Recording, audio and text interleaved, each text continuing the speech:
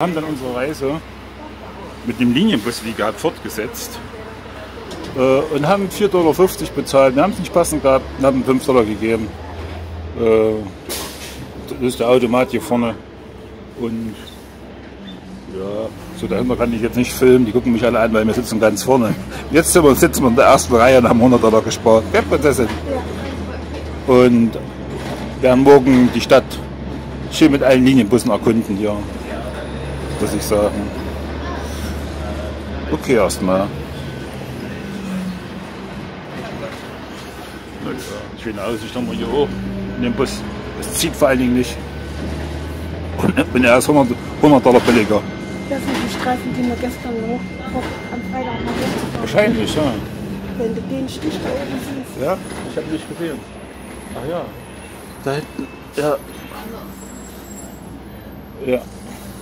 Ja gut, erstmal ein Päuschen hier von der Busfahrt. Wie man sieht, sieht man die Prinzessin strahlen. Da drüben fährt wieder so ein roter Bus, der uns für ein bisschen was über 100 Dollar da runtergefahren hätte oder hat. Wir sind wieder am Ausgangspunkt angekommen und der Spaß hat uns pro Mann 2,25 Dollar gekostet.